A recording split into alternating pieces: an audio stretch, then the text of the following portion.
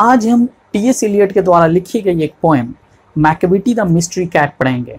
Macavity इसमें एक cat है जो काफ़ी कनिंग है, काफ़ी धूर्त है और वह एक अपराधी है और ऐसे अपराध करता है कि कोई सुराग भी नहीं छोड़ता और वह पुलिस के पकड़ में भी नहीं आता। पुलिस काफ़ी परेशान रहती है उसे पकड़ने के लिए, लेकिन पकड़ नहीं पाती है। ओके, ये मॉक हीरोइक स्टाइल में लिखी हुई है, एक व्यंगनात्मक स्टाइल में लिखी हुई है। ओके वैसे इस लेवल पे इसके सोर्स को जानना या इसके बहुत से डिटेल्स को जानना ज़रूरी नहीं है, लेकिन फिर भी मैं इसका थोड़ा सा सोर्स बताता हूँ। माना जाता है कि टी एस एलियट जो हैं शेरलॉक्स होम के काफ़ी शौकीन थे फ़ैन थे ओके और शेरलॉक होम जो है वो, वह कोनन डोयल के द्वारा लिखी गई है ओके और यह जो है, एक मिस्ट्री फिक्शन है। एक उपन्यास आप कह सकते हैं, रहस्यमय उपन्यास। ओके, उसमें एक कैरेक्टर है प्रोफेसर मोराइटी और यह कैरेक्टर जो है, ये मैकविटी से काफ़ी यह नाम मिलता है इस कैरेक्टर का। और यह कैरेक्टर भी जो है जो स्कॉटलैंड यार्ड की जो पुलिस है, उसको भी काफ़ी परेशान करती है, बहुत चकमा देती है और यह पुलिस के पकड़ में नहीं आता है। ओके पुलिस इसके पीछे लगी रहती है लेकिन वह तरह तरह तरीके अपनाकर जो है वह क्राइम करता है और पुलिस के हाथों से जो है वह निकल जाता है। तो यह जो है एक एल्यूज़न उसी आ, उसी से लेकर लिखी गई जो है यह एक पोएम है। ओके और इस पोएम में जो है शेरलॉक होम्स जो है वह यह कहता है कि यह नेपोलियन ऑफ़ क्राइम यानी पूरे जितने भी क्रिमिनल हैं, उस, उसका जो है यह सरगना, ये हेड है मास्टर माइंड है। उसी तरह इस बिल्ली के बारे में भी कहा गया है। ओके तो चलिए सबसे पहले जो है हम राइटर के बारे में जान लेते हैं टी एस इलियट के बारे में जान लेते हैं। ओके टी एस इलियट का पूरा नाम जो है, वह है टोमस स्टर्न्स इलियट इनका जन्म 1888 में और इनकी डेथ 1965 में होती है। इनका जन्म जो है Saint Louis, Missouri, United state of America में हुई। ओके, लेकिन ये बाद में जो है इंग्लैंड में पूरी तरह से ये सेटल हो गए। और ये लिटरेचर में इन्होंने खुद कहा कि अ क्लासिस्ट इन लिटरेचर, यानी लिटरेचर में क्लासिस्ट। क्लासिस्ट उसे कहते हैं जो रूल, रेगुलेशन, फॉर्म को ज़्यादा मानता हो। और जो ग्रीक की जो राइटिंग है, या जो राइटिंग जिसमें जो है, एक स्टैंडर्ड है, उसको वो फॉलो करता हो। तो ये अपने आप को क्लासिस्ट कहते हैं लिटरेचर में। एंग्लो कैथलिक इन रिलीजन, धर्म में ये क्रिश्चियन थे तो एंग्लो कैथलिक अपने आप को कहते थे and royalist in politics, royalist का अर्थ होता है जो मोनार्की को सपोर्ट करें। मोनार्की का अर्थ है यानी जो किंगडम, यानी किंग जो है वह शासन करे, ऐसे जिसकी सोच हो उसे रॉयलिस्ट कहते हैं। ओके। और यह जो है ट्वेंटी सेंचुरी के बहुत ही बेस्ट जो है पोइट बन के उभरे, ओके। और यह एक क्रिटिक क्रिटिक जो आलोचक है और ड्रामेटिस्ट, जिसने ड्रामा लिखी है। वैसे इन्होंने जो है पाँच ड्रामा लिखी है, और वह ड्रामा जो है वो वर्ष में लिखी हुई है, ओके। और इन्हें नोबेल प्राइज जो है 1948 में, लिटरेचर में इन्हें मिला, the waste land the waste land इनके बहुत ही फ़ेमस जो है वह पोएम है बहुत ही famous waste land Ash Wednesday and Four Quartet ये इनके पोएम के आ, सारे पोएम्स हैं ओके और यह जो है यह अपने पोएम में जो है ये रिप्रेजेंट करते हैं इंटेलेक्चुअलिटी को कि इंटेलेक्चुअल जो पावर होता है social power philosophical mood off twenty century twenty century की जो सारी चीज़ है, उसको ये अपने पोएम में जो है उजागर करते हैं। ओके और यह जो पोएम है मैकविटी द मिस्ट्री कैट यह इनके एक पोएम का कलेक्शन है। Old पोसम्स book of practical cats वहीं से ली गई है और इसका जो है एक म्यूज़िक स्टेज पे दिया गया था और वह ग्रेट कंपोजर बहुत बड़े संगीतकार के द्वारा दिया गया था। जिसका नाम है sir Andrew Lloyd Webber okay यह एक हल्की पोएम है और ये मॉक हीरोइक स्टाइल में पोएम है। इसलिए इस पोएम की जो है बहुत ज़्यादा डिटेल्स की भी ज़रूरत नहीं है। ओके इसकी जो खूबसूरती जो है, इसकी राइमिंग से नीट राइम है। नीट राइम यानी जो है राइम बिल्कुल मिल जाना, उसे नीट राइमिंग कहते हैं। जैसे पौ को लॉ से मिल जाना डिस्पेयर को देयर से मिल जाना तो ये जो है, इसी को नीट राइमिंग कहते हैं। और गैलोपिंग रिद्म जो रिद्म है, वो एबनॉर्मल रिद्म है, जो लय है ओके और इसमें कॉमिक इफ़ेक्ट भी है हँसी मज़ाक का भी इफ़ेक्ट है ओके और इसमें जो क्रिमिनल है, वो बिल्कुल मॉन्स्टर की तरह है रॉक्चस दैत्य की तरह है, जो एक्चुअली में एक कैट एक बिल्ली है। वैसे बिलार है वो, क्योंकि ही इन्होंने इस्तेमाल किया है, लेकिन बिल्ली भी अगर बोला जाए तो बिलार ही आप समझें ओके तो चलिए अब टेक्स्ट शुरू करते हैं। Macavity the mystery cat okay इसमें राइमिंग देखिएगा, कितनी अच्छी राइमिंग है। Macavity is a mystery cat he is called the hidden paw for he is the master criminal who can defy the law Macavity Macavity mystery cat ये Macavity जो है एक रहस्यमयी बिलार है। ओके रहस्यमयी बिलार। और इसे जो है एक गुप्त जंतु भी कहा जाता है। क्यों? क्योंकि यह जो है मास्टर माइंड क्रिमिनल है। और यह लॉ जो है, लॉ को भी तोड़ देता है। लॉ की अवज्ञा करता है, या जो बिलार है। ओके? और he is the bafflement of Scotland Yard the flying स्क्वेड्स despair for when they reach the scene of crime मैकविटीज not there वह जो है स्कॉटलैंड यार्ड के परेशानी का सबब बन जाता है। स्कॉटलैंड यार्ड और आगे फ्लाइंग स्क्वेड्स जो है, यह इंग्लैंड की दो बड़ी एजेंसी है, संस्था है, ओके, जो किसी भी गुत्थी को सुलझाती हैं। लेकिन यह भी जो, ये भी पुलिस जो है, ये का, बुरी तरह से परेशान है और उनके परेशानी का, उनके निराशा का जो सबब है, यह मैकेविटी है। और मैकविटी जो है कहीं भी क्राइम करता है, लेकिन जब ये पहुँचते हैं तो मैकविटी जो है वहाँ पे नहीं रहता है। ओके तो यह जो है स्कॉटलैंड यार्ड और फ्लाइंग स्क्वाड के लिए परेशानी का सबब है, और जब वह क्राइम के सीन पे पहुँचते हैं, क्राइम की जगह पे पहुँचते हैं तो मैकविटी जो है वहाँ नहीं रहता है। दूसरा stanza, Macavity Macavity there is no one like Macavity. Macavity Macavity Macavity के तरह कोई नहीं है। उसकी तरह दूसरा कोई नहीं। यहाँ पे मैकेविटी मैकेविटी काफ़ी बार इस्तेमाल हो रहा है। अब चाहे तो समरी में भी इसका इस्तेमाल कर सकते हैं। समरी लिखने के वक्त कि T S Eliot has use Macavity Macavity और फिर मैकेविटी इज़ नॉट देयर ये भी जो लाइन है, काफ़ी इस्तेमाल हो रही हैं। और ये इम्फेसाइज करने के लिए, ज़ोर देने के लिए बार बार इस्तेमाल किया जा रहा है। Clear? He is broke every human law he breaks the law of gravity वह जो है मनुष्य के बनाए हुए सारे कानून को तोड़ देता है। वह कानून को नहीं मानता है। यह जो बिलार है, यह किसी कानून को नहीं मानता है। हर कानून को तोड़ता है। इवन लॉ ऑफ़ ग्रेविटी को भी तोड़ देता है। लॉ ऑफ़ ग्रेविटी का अर्थ है किसी चीज़ को जो है वह एक जगह फिक्स करके रखना, यानी नीचे खींच कर रखना। लेकिन इस बिलार के अंदर जो है लॉ ऑफ़ ग्रेविटी भी तोड़ने की सलाहियत है। वो आगे वाली लाइन में क्लियर होगी कैसे तोड़ रही है। कैसे तोड़ रहा है। Okay his powers of living would make a fakir stare. His power of leviation would make a fakir stare, and when you reach the scene of crime, Macbeth is not there.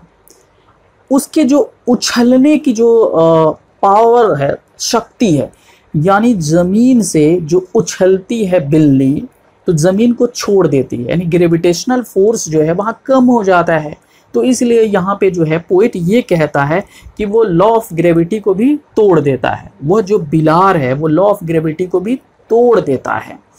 Okay क्योंकि इसके पास जो है उछलने की आ, कला है।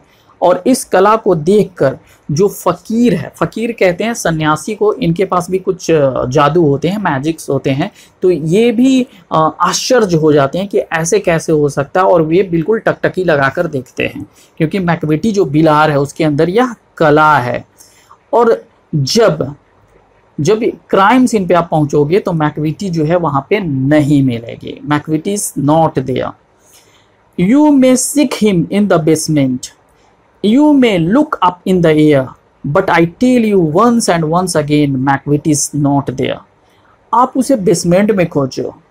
आप उसे हवा में खोजो ऊपर खोजो।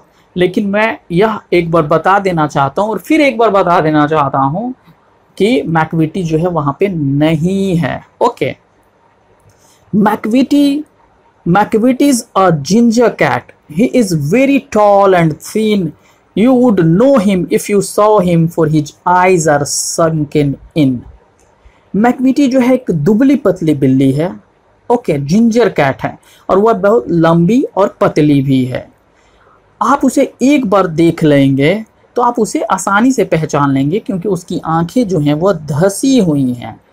His bro is deeply lined with thought his head is highly doomed his coat is dusty from neglect his whisk whiskers are अनकम्ड उसके जो भाव हैं, वह भाव पे जो लाइन है, वह काफ़ी डीप लाइन है। उससे ऐसा लगता है कि वह सोचता रहता है। वह अपने विचार में खोया रहता है। बहुत सोचता है। थॉट थॉट को बताता है उसके। और उसका सिर जो है, वह ऊँचा गुंबद की तरह है, बिल्कुल। और उसका जो कोट है वो डस्टी है। कोट यानी उसके ऊपर का जो परत है। ओके?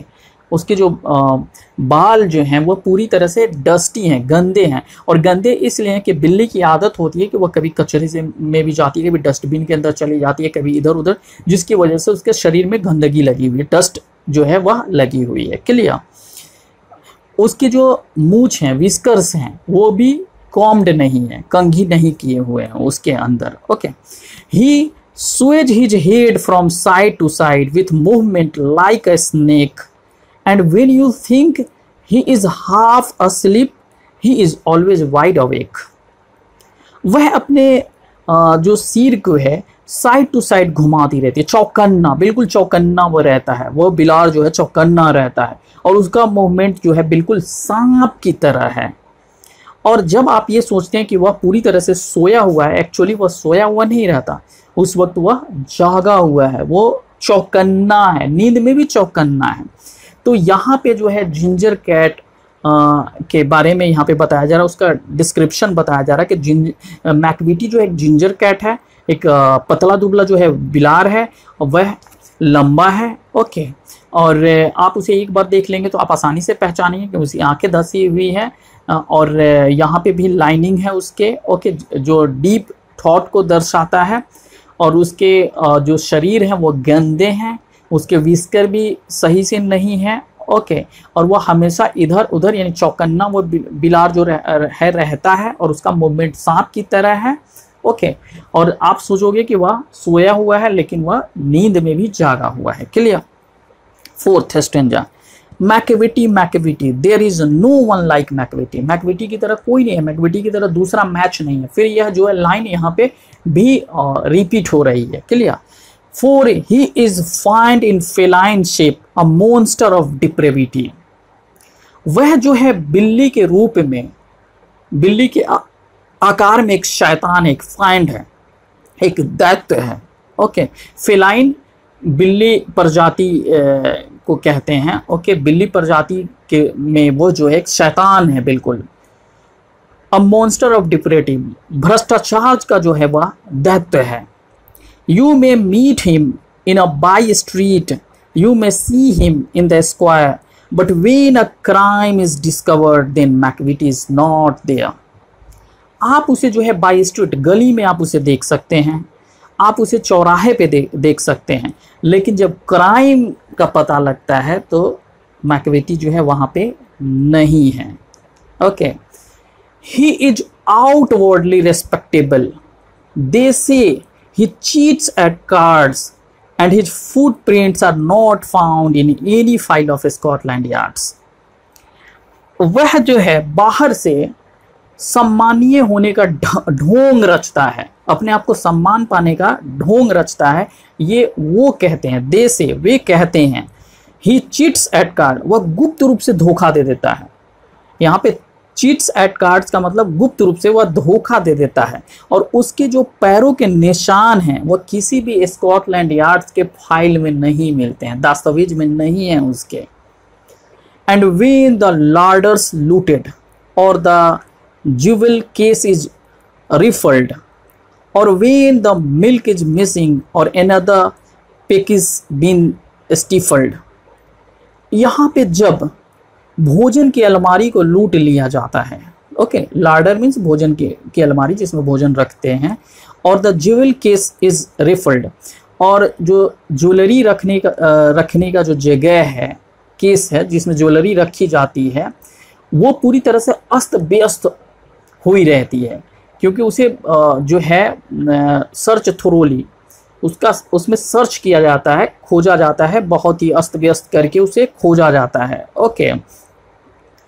और वे जब दूध मिस कर जाए, दूध नहीं मिले मिसिंग हो, दूध गायब हो जाए, और किस, किसी मुर्गा या मुर्गी का गला घोट दिया गया हो, or the green house glass is broken और जब ग्रीन हाउस का ग्लास जो है, वह टूटा हुआ हो ग्रीन हाउस जो है यह पेड़ पौधा कहीं लगाते हैं तो रोशनी के लिए ग्रीन आ, ग्रीन हाउस जो है वह बनाते हैं। उस पर ग्लास लगा हुआ होता है जिससे पेड़ पौधे को जो है रोशनी मिलती रहती है। ओके और उनको पर्याप्त रोशनी मिलती है। तो जब उसका शीशा टूटा हुआ हो तो आप समझें and the trellis past repair और ट्रेलिस का अर्थ है क्रीपर के लिए जाली बनाई जाती है। और वो जाली भी अगर टूटी हुई हो ए there is the wonder of the thing मैकबिटी is not there और ये सोचने ये आश्चर्य वाली बात है कि मैकबिटी नहीं है। यानी यहाँ बताया जा रहा है कि ये सारे काम जो है मैकविटी करती है और मैकविटी जो है मैकविटी करता है और मैकविटी जो है इतना शातिर है कि वह जो है आ, कोई भी सुराग नहीं छोड़ता है। जब उसे ढूंढा जाता है तो वो वहाँ पर नहीं होता है। Okay. Clear? And way the foreign office find a treaties gone astray और the admiralty lost some plans and drawing by the way. There may be a scrap of paper in the hall or on the stair, but it is useless to investigate. McVitie is not there. जब जो है विदेशी कार्यालय यानी foreign office का कोई भी आ, संधि का अगर उल्लंघन हो जाए और उच्च अधिकारी का कोई भी कागज़ गायब हो जाए, दस्तावेज़ जो है वह गायब हो जाए, या कोई भी ड्राइंग जिस पे कोई खाका बना हो, कोई डिज़ाइन बना हो, और वह जो है स्क्रैप के रूप में स्क्रैप के रूप में नहीं स्क्रैप बोलते हैं, जैसे उस कागज़ को मोड़ कर फेंक देना स्क्रैप की तरह, वह स्क्रैप की तरह मिलता है हॉल के फ्लोर पे, या स्टेयर पे, या सीढ़ी पे। लेकिन यह जो है इन्वेस्टिगेट करना ये जो है बिल्कुल यूजलेस है बेकार है क्योंकि मैकविटी जो है वहाँ पे नहीं है। यहाँ पे भी मैकविटी का बताया जा रहा है कि वो कितना शातिर है। वो बहुत ही शातिर बिल्ली बिलार है। Okay and when the loss has been disclose the secret service say it must have been Macavity but he is a mile away जब कोई लॉस हो जाए ओके okay, जब लॉस का पता चल जाए तो सेक्रेट सर्विस जो है, यानी जासूसी संस्था या, वह यह कहती है कि ज़रूर मैकविटी ने किया होगा। लेकिन मैकविटी वहाँ नहीं, वह बहुत दूर होता है। A miles a mile away बहुत ही दूर, मीलो दूर। You will be sure you will be sure to find him resting or a licking of his thumbs or engage in doing complicated long division sums you will be sure अब बिल्कुल sure होंगे, निश्चित होंगे कि वह Macavity जो है कहीं आराम कर रहा होता है।